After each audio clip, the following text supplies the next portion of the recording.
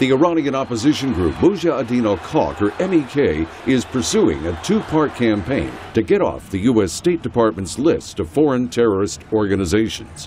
One part is a public relations effort involving prominent American supporters. The other, a court case against the State Department. The MEK says it renounced terrorism years ago, but the group's bloody origins remain, as recounted by Georgetown University's Paul Pillar.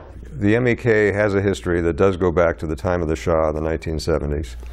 It was a group that propounded uh, an ideology that mixed Islamism and Marxism. And among their earliest operations were lethal operations against U.S. personnel. In the 1979 Islamic Revolution, the MEK backed Ayatollah Khomeini and the seizure of the U.S. Embassy in Tehran. Former hostage John Limbert. They opposed any movement to settle it, and at, at certain times they were calling very, uh, very loudly, very vocally for our trial and our execution. By 1981, however, the MEK split with a cleric-based regime, launching a bombing campaign that killed Iran's president and prime minister. Then its leadership fled to Europe. The MEK sided with Iraq in its 1980 to 1988 war with Iran. In 1986, Iraqi dictator Saddam Hussein set up an enclave called Camp Ashraf for the group north of Baghdad. In 1991, MEK forces allegedly assisted Saddam in putting down uprisings by the Kurds in Iraq's north and the Shiites in the south. Then in April 1992, the MEK attacked Iranian embassies and facilities in 13 countries.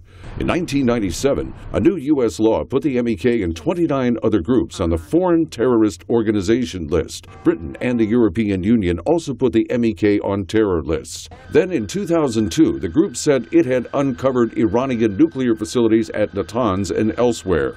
The next year, U.S. and coalition forces toppled Saddam Hussein. When U.S. troops reached Camp Ashraf, MEK members there signed pledges renouncing weapons and terrorism. Also in 2003, French authorities arrested MEK leader Maryam Rajavi and some 160 supporters for allegedly financing and planning terrorist attacks. Rajavi was later released.